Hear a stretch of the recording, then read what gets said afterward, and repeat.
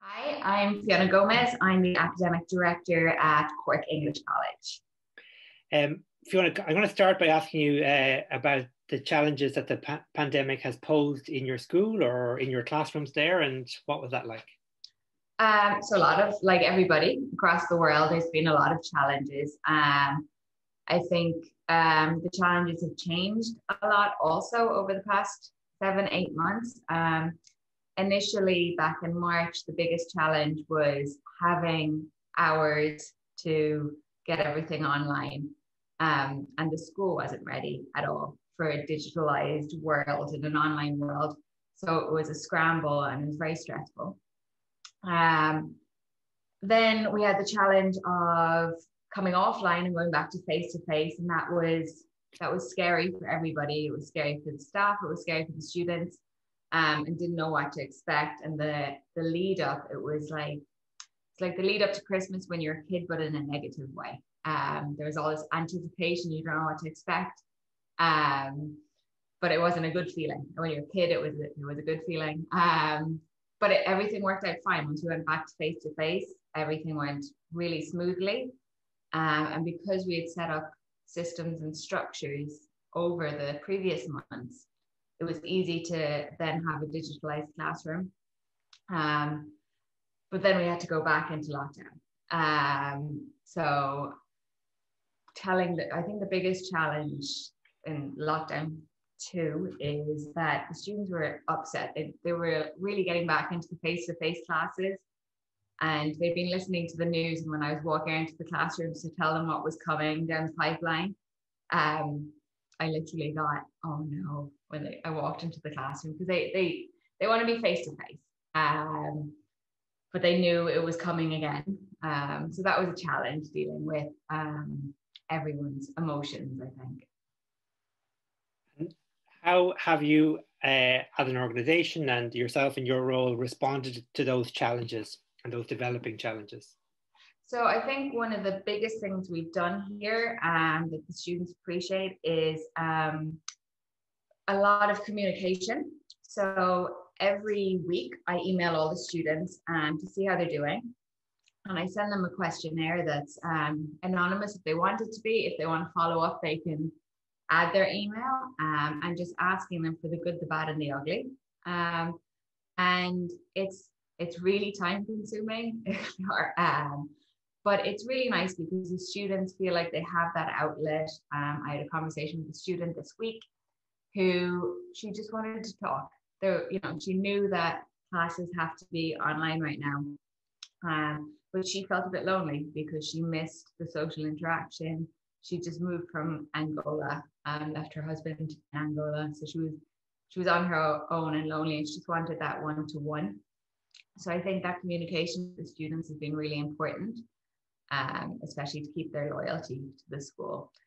Um, and the teachers have been really on it with the students as well. Um, that the students really like. There's been so much, so much more back and forth communication with the teachers and the students than there had been in the past. Um, so that access has been really helpful for students. And in terms of the the feedback and the the the, the both from the staff and from the students in the areas of the, the academic approach, the health and safety issues, and then the general welfare, which I think you're kind of pointed to there. Mm-hmm. What were the things that they told you which uh, informed how you developed the, the, the plan? So before we even opened back up, we sent all the students um, a survey. Um, and this was questions about every possibility that we could do when we open back up. Um, just to see what they thought. We did the same with the staff, and um, including the teachers um, and host families. So we had a lot of data from from everybody about what they were willing and not willing to do, and um, we knew what we wanted to do, but we just wanted to make sure that you know the students wanted the same thing. And we wanted everybody socially distanced and, and wearing masks in the school for everybody's safety. And that's what the students wanted as well. Um, so the fact that we were all in line there was really helpful. Um, and also with the with the weekly emails that I send and questionnaires that I've been sending the students. Um, in week one, it was a special week one of reopening, it was a specialized um, questionnaire and asked what they appreciated about being back to school, and they all pointed to safety. Um, and I think that's everybody's concern these days. So it really helped us develop a structure. Um, and we were nervous that you know the one-way system wouldn't work and social distancing wouldn't work. Um, but all the students like followed followed the new rules from day one, and we're happy to do so. So it's been really positive. positive one of the things that has been mentioned a lot is this sense of uh, the idea of community, uh, both a school community and the students being members of the wider community there where, where you are in Cork or wherever they might be. Is that something that, that has you have found to be a significant uh, factor? Yeah, I can actually share a photo too of some some community, um, and I'll talk through this it definitely has. Um, we really want the students to feel um, happy in class. So um, we had a social program that was face to face and really helped, you know, students love, but obviously that had to move online. Um, this picture here is the first day back, uh, the first Friday of the first week back in school. We just gave every, everybody some chocolate with Cork written on it. Um, that nobody could eat in the school because they had their masks on. Um, but um, again, this is the smiling, you can read their eyes.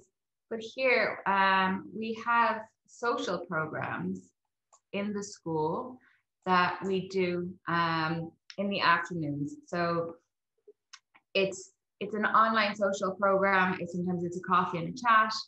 Um, sometimes it's playing Super Mario Kart. Sometimes it is um, a virtual tour somewhere.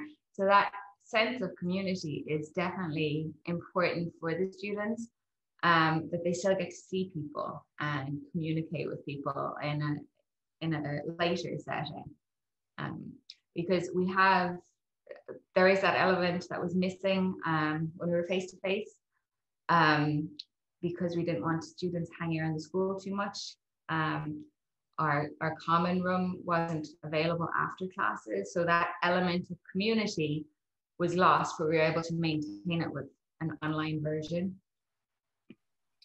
And then apart from the ability to, to use uh, Zoom and those other kind of uh, tools, what would you say you've learned uh, from these challenges and trying to kind of tackle them and come up with solutions for them uh, that is going to stand to you?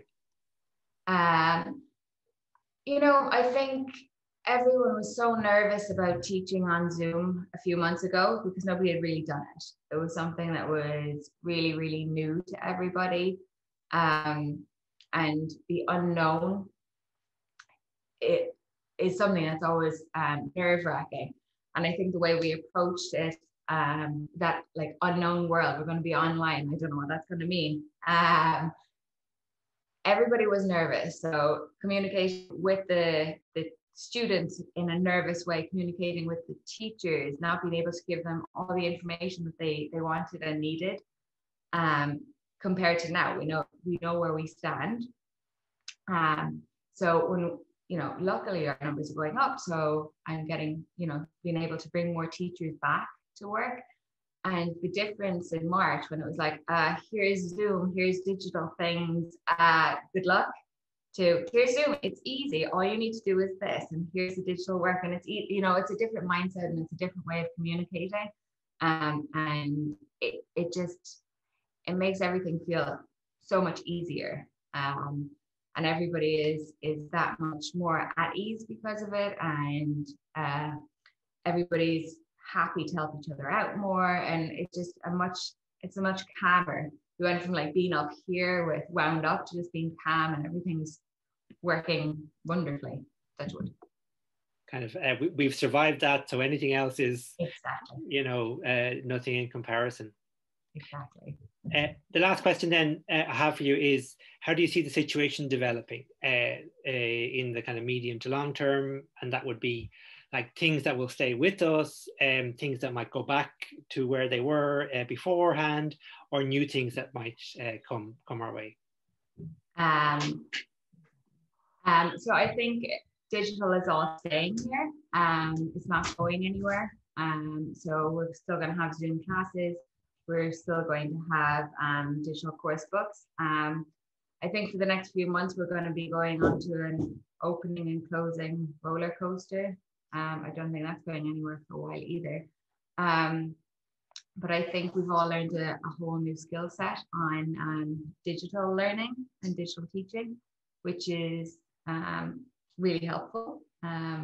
So even though all of these things are going to stay with us, we'll have the ability to do more things and be able to offer different types of classes because of it. And what, what do you think when students are choosing a school now? What is the what is, what are the factors in their mind that might have been different might be different to what was there before? Well, I think I mean it's it's a it's a factor. It's a weird one because you know obviously the total immersion um, issue has has always been a selling point for schools being able to come to the country and live and, and study here.